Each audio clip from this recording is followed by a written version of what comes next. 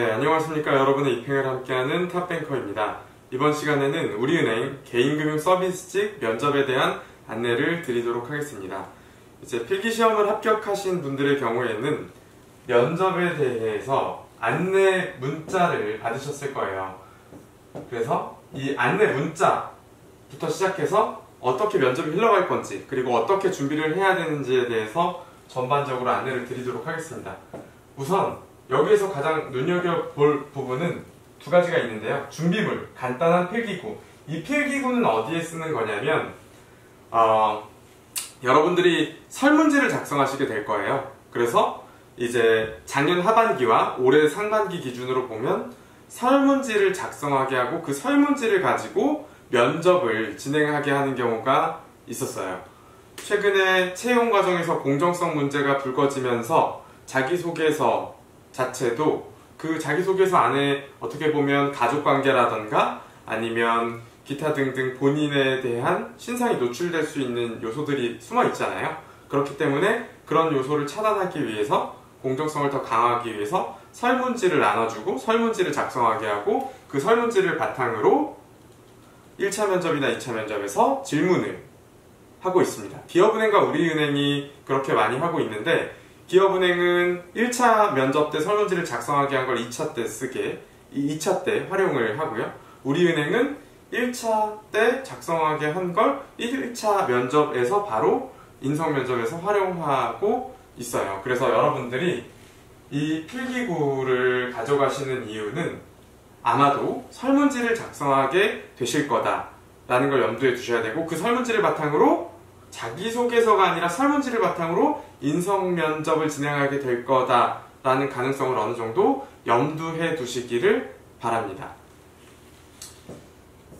상반기에 상반기에 이제 일반직 면접이 있었잖아요. 두 달 전에. 그때 이제 사실 서술형 평가를 한다고 했어요. 그래서 경제금융에 대한 서술형 평가를 필기 시험을 봤는데 또 한다고 했었거든요. 근데 이렇게 안내는 해놓고 실제로는 이 서술형 평가는 하지 않고 이때도 이제 설문지만 했었어요. 그래서 2017년 하반기부터 우리은행이 설문지 작성을 하게 하는 경우가 많으니 여러분들이 그걸 염두하시라. 설문지 항목에는 뭐 이런 게 나와요. 이따가 설문지 항목 전체적인 내용들을 직접 보시면 아시겠지만 우리은행의 인재상을 쓰시오. 네 가지 인재상을 쓰시오. 뭐 이런 것들이 적혀 있어요. 그러면은 인재상 네 가지 쓰는 거예요.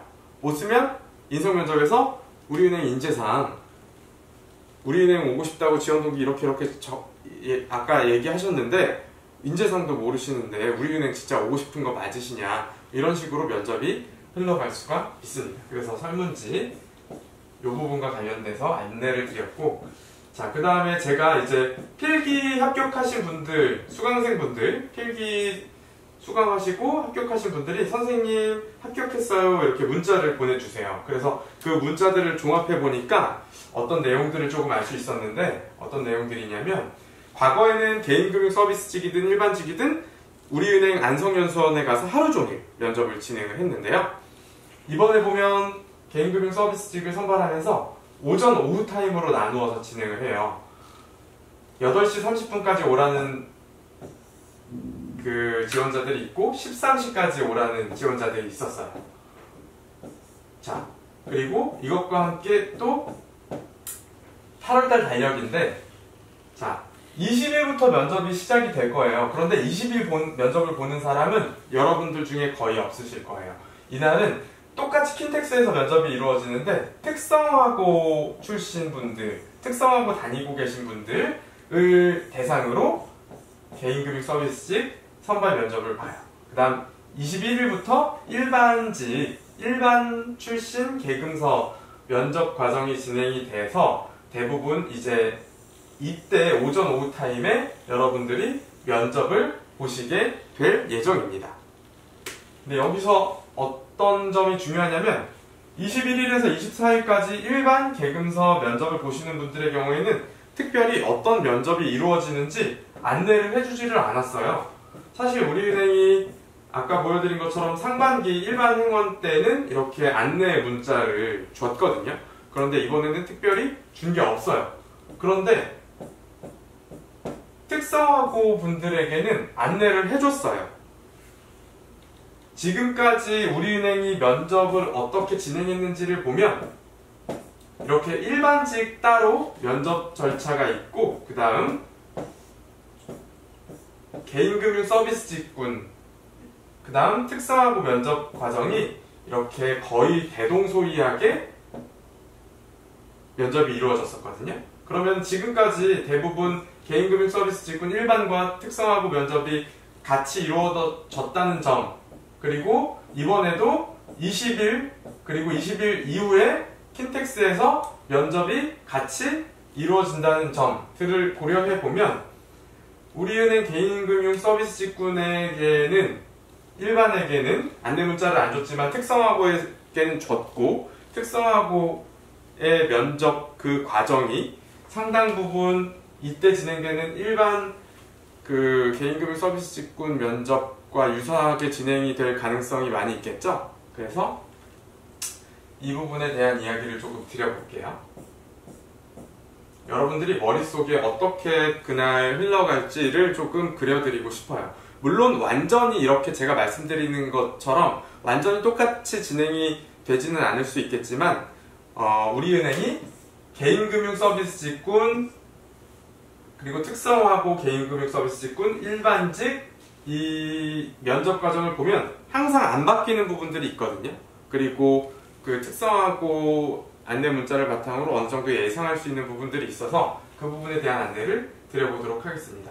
우선 여러분들은 오전에 가시든 오후에 가시든 지금까지 항상 루키라는 그 우리은행 직원이 인솔을 하게 될 거예요. 그래서 가게 되면 조편성을 하고 10명에서 12명 정도가 한 조가 되고 그 조를 루키라는 우리은행 어, 조금 젊은 직원분들이 인솔을 하게 되는데 그분들이 여러분들을 막 평가하듯이 뭘 적을 거예요.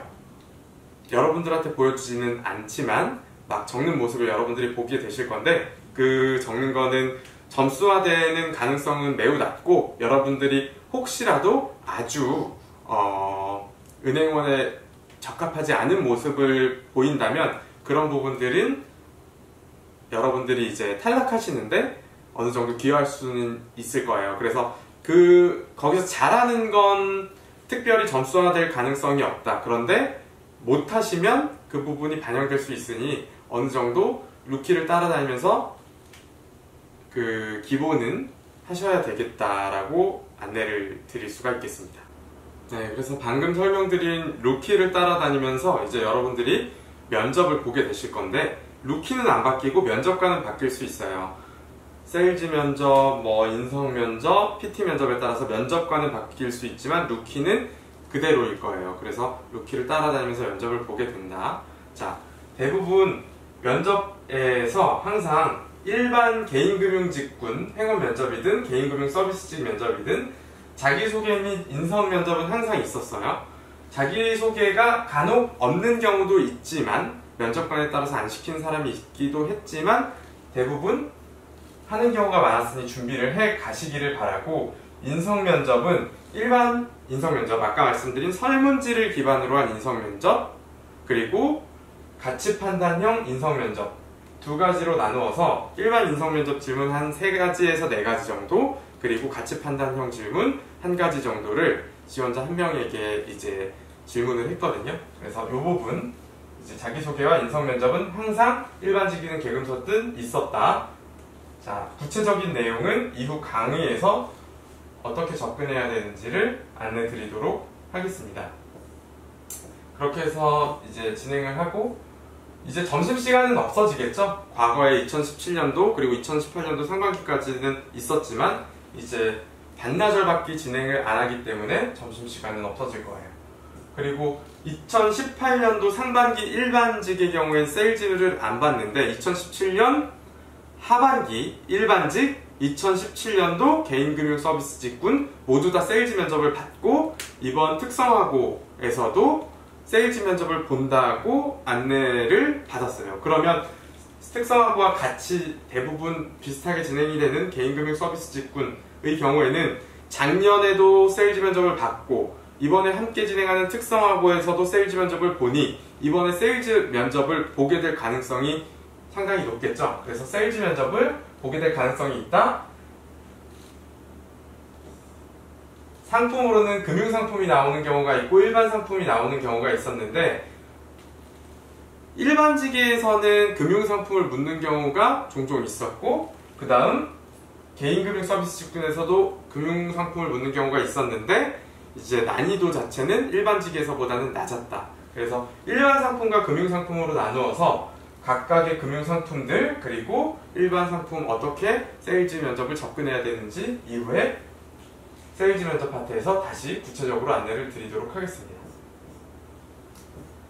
자, 그리고 PT 면접을 보는데 PT 면접은 2017년도 개인금융 서비스 직군의 경우에 무한 PT로 진행이 됐었어요. 그런데 2018년도 들어오면서 2017년도 하반기 일반직과 2018년도 개인금융직의 경우에는 그냥 일반 PT로 진행을 했었거든요.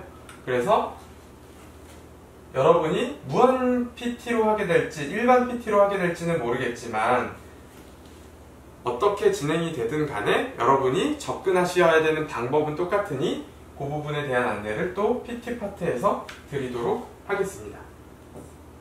자, 그 다음 팀 과제 여기 보면 2018년도 상반기 일반 응원 면접 안내에 보면 토론 면접이라고 나와 있어요. 그런데 토론 면접에 대한 설명 문구를 보면 5명에서 6명이 한 조를 이루어 어, 협력해서 과제의, 과제의 해답을 만드는 그룹 면접입니다. 라고 나와 있어요. 과제의 해답을 만든다. 토론 면접은 양측이 평행선을 달리면서 감론 을박을 하는 게 토론 면접이죠. 그런데 이렇게 하나의 과제에 대해서 해답을 만드는 건 토론이 아니라 토의죠.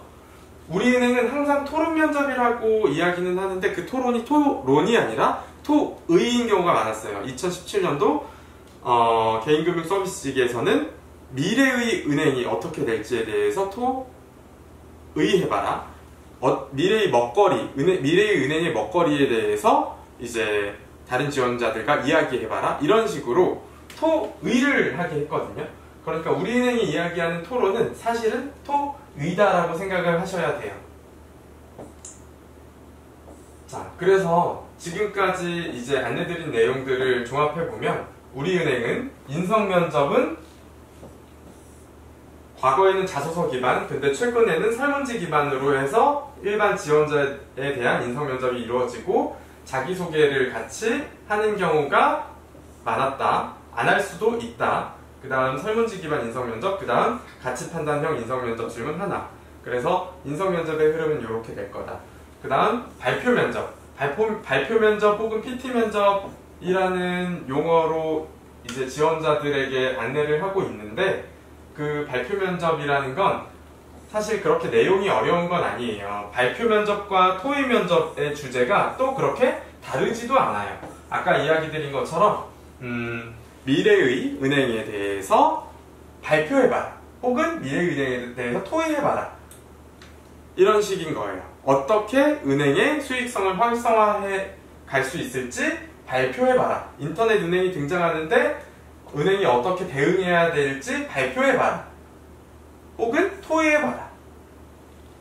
최근 영업점 점포가 줄어가면서 대기 고객이 늘어나고 대기 시간이 영업점의 점포가 줄어가다 보니까 대기 점포당 고객은 늘어나고 대기 기간이 길어지고 있는데 대기 시간이 길어지고 있는데 어떻게 대기 시간을 줄일 수 있을지 발표해봐라. 혹은 토의해봐라. 이런 식으로 발표 면접과 토의 면접의 주제는 상당 부분 비슷한 측면이 있었거든요. 그래서 이 부분에 대해서 면접 과정은 바뀔 수도 있잖아요.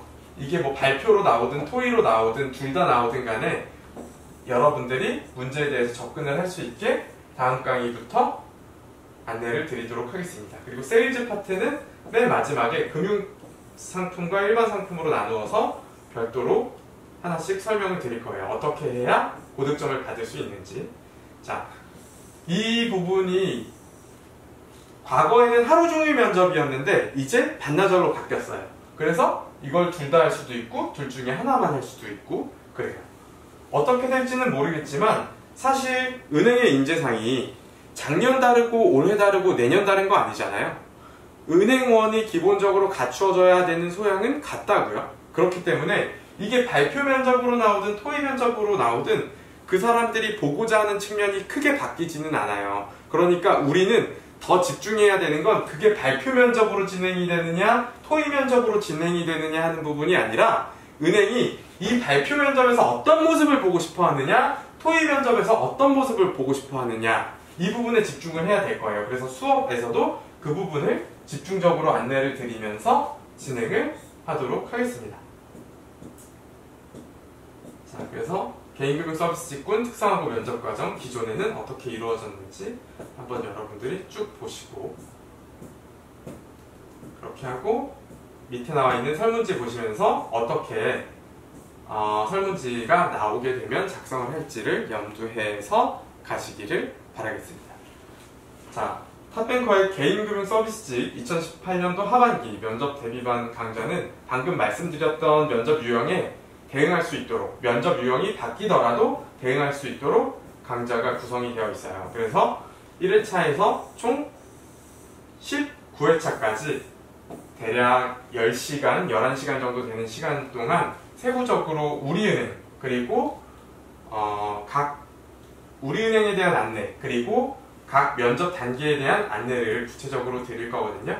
그래서 여러분이 수강을 하시면서 따라오시면 되겠고 17년도, 18년도 기출 질문들을 담아놨고 설문지 항목을 담아놨으니 참고하시면 되겠고 우리은행 면접 가면 우리은행에 대한 질문들 혹은 우리은행 상품이나 서비스에 대한 질문들을 할 수가 있어요. 만약에 그런 질문을 인성에서 안 하면 세일즈 면접에서 그 상품이 금융상품으로 나올 수도 있고요. 그렇기 때문에 우리은행의 상품과 서비스에 대한 안내를 드리도록 하겠고 기업 분석을 해드리도록 하겠습니다.